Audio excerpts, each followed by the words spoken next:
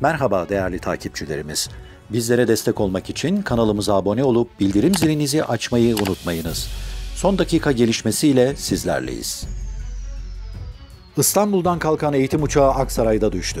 Edinilen bilgiye göre Nevşehir'e gitmek için İstanbul Atatürk Havalimanı'ndan havalanan özel bir şirkete ait eğitim uçağı havada motor arızası verdi.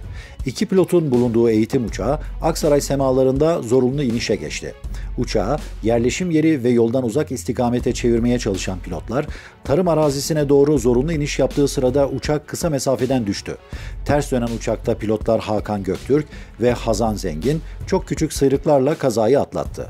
İhbar üzerine olay yerine İl Afet Acil Durum, Ulusal Medikal Kurtarma, Jandarma, İtfaiye ve 112 acil yardım ekipleri sevk edildi. Ekipler kısa sürede olay yerine intikal ederken iki pilota ilk müdahale olay yerinde yapıldı. Kıymetli takipçilerimiz, bir haberimizin daha sonuna geldik. Bir sonraki haberimizde görüşmek üzere.